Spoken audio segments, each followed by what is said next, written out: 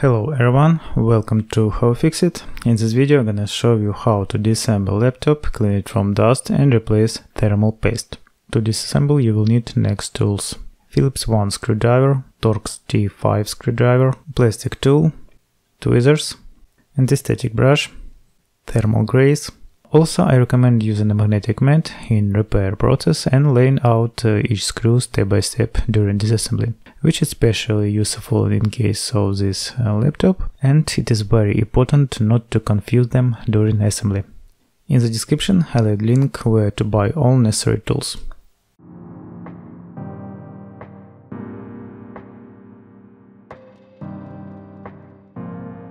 Turn the laptop over and remove all screws on the bottom cover.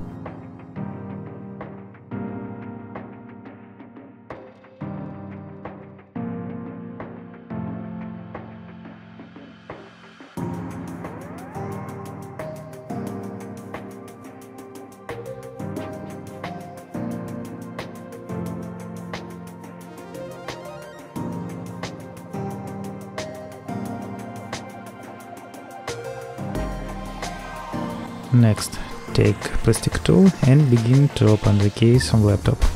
I recommend using a plastic tool so as not to damage the laptop case when you open it.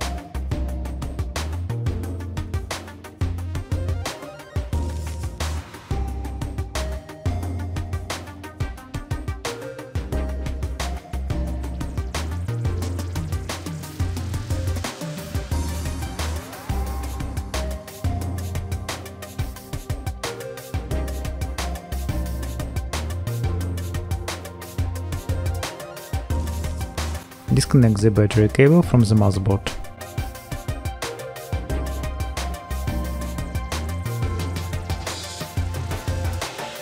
Now let's begin to remove the cooling system. Disconnect fan cables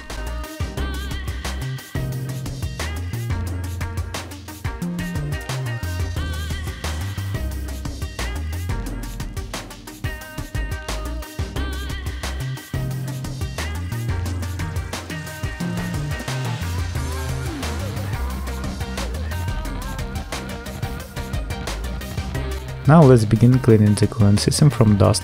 Remove all dust from the radiator and fan.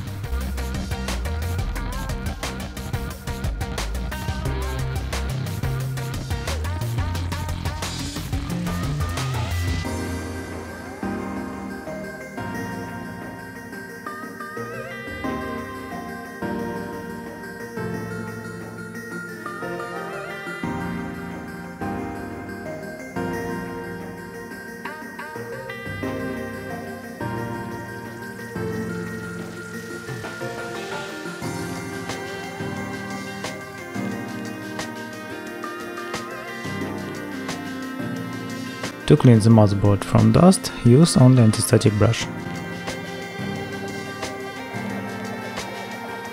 Pay attention to the order of removing the screws. I recommend unscrewing in the indicated order.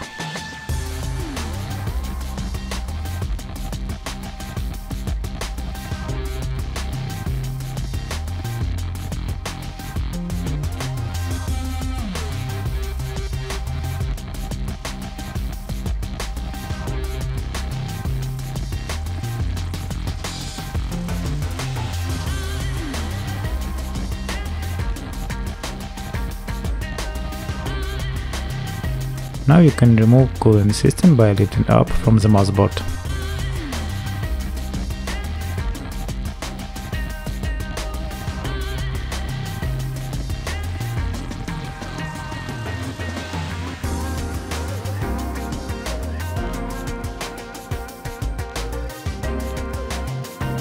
Remove the old thermal paste from the surface of CPU and GPU, as well as from the radiator.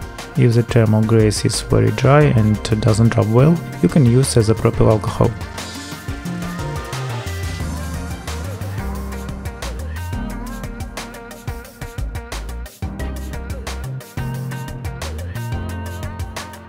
How to apply thermal grease? Apply a small amount of thermal paste to the CPU and then take a plastic tool and spread it evenly over the entire surface of the chip.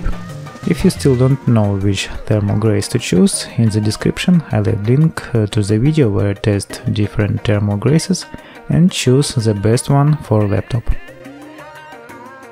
Now you can install the cooling system and tighten all screws.